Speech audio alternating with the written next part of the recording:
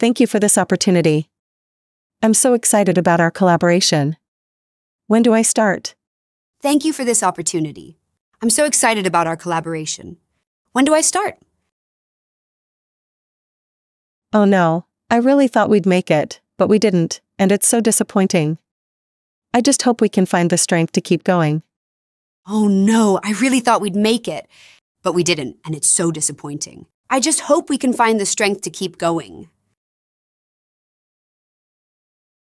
I can see you're going through a tough time. Don't hesitate to reach out if you need anything at all. I'm here to help. I can see you're going through a tough time. Don't hesitate to reach out if you need anything at all. I'm here to help. In the busy office, smiles filled the air as we celebrated our big win together.